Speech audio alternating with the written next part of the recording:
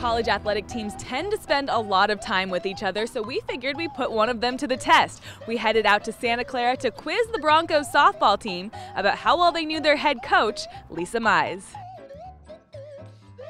She doesn't really like to celebrate her birthday or doesn't tell us anything about when her birthday is, but I know it's in March sometime. Oh no, it was recently. March 27th. 20 something, 23rd. March 22nd.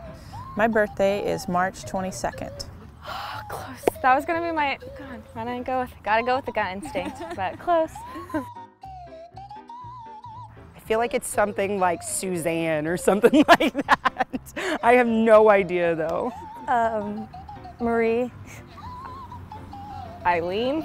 Oh geez, Lisa. Anne Mize. My middle name is Michelle.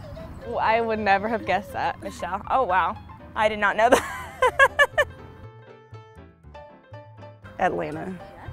They were held in another country. No, they weren't. They were held in Georgia. Atlanta. I played in the 96 Olympics held in Atlanta, Georgia. Uh, enchiladas. I don't know, but she makes a good chocolate cake. That's all I know. Enchiladas.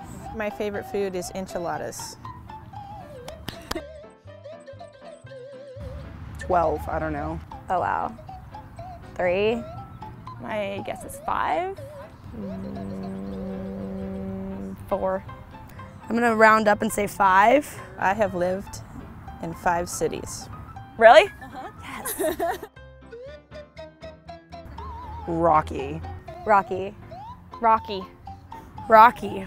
Uh, my favorite movie is Rocky. Is that really it? Oh my god, that makes me so happy. Coaching. Maybe because it's pretty. Just loves challenges in life and, you know, likes to push herself and like going to the Olympics and stuff. So I think trying to help the program get better. My favorite thing about being at Santa Clara is uh, just to be around these tremendous student athletes and being able to be out on the softball field every day. Oh, that's even better.